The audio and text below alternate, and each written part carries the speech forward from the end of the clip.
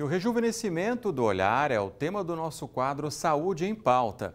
Mais brilho, menos rugas. Conheça técnicas não invasivas que devolvem a naturalidade do olhar. Olá, eu sou a doutora Cris, sou médica dermatologista e hoje eu vou falar sobre o rejuvenescimento do olhar. A região dos olhos é a região onde aparecem os nossos primeiros sinais de envelhecimento. Além do filtro solar e de um skincare adequado para a região, temos diversos procedimentos que podem ajudar. Temos os procedimentos não invasivos, como fios de PDO, toxina botulínica, bioestimuladores de colágeno, skin booster, todos eles para promover um rejuvenescimento na região. Quando o problema está mais avançado, onde temos aquele excesso de pálpebras, partimos para os procedimentos cirúrgicos.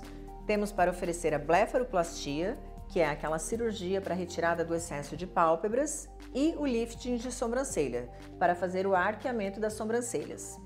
Esse é um resumo de como a gente pode tratar a região dos olhos. Super importante lembrar sempre do filtro solar. Qualquer esclarecimento, estou à disposição.